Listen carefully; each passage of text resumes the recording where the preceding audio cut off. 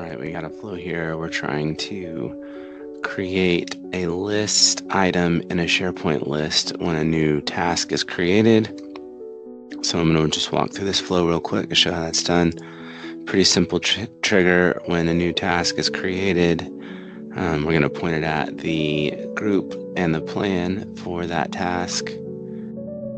And then the next thing I'm going to do is actually I'm going to list the plans for the same group that I chose in the trigger. And the reason for that is I want to have the name of the of the plan rather than the ID when we get down here to create the list.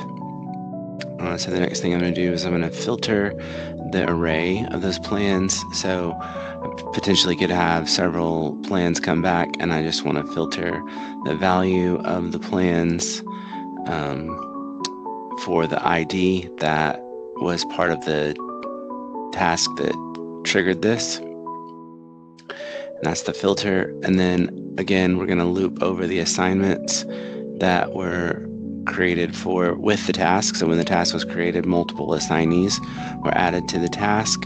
And we're going to loop over those in our apply to each. And then I'm just getting a look at those here in the compose. And then we're going to create that SharePoint list item. We're going to point it at this team to-dos list. This is going to be the title of our task that triggered this flow. This is the piece that we're looking for. It's the assigned to claims with this I colon zero hash colon F pipe membership pipe followed by the user ID. That's the magic piece I think we're looking for. And then the plan name is going to be the first element of the body from the filter array. And then we want its title. So that's all the elements that came back in this filter array. We want the first one of those. And then we're narrowing down on the title. So we get the plan name again rather than the plan ID. And then we're just passing the due date through.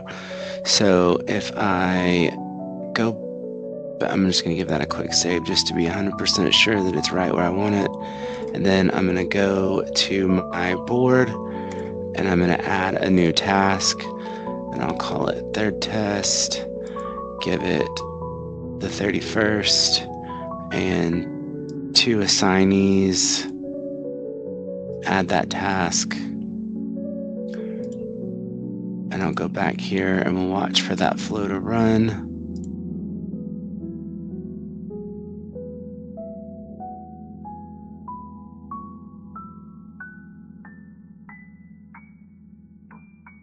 Okay, our flow is running. I'll just click in there. We can see that's already run successfully.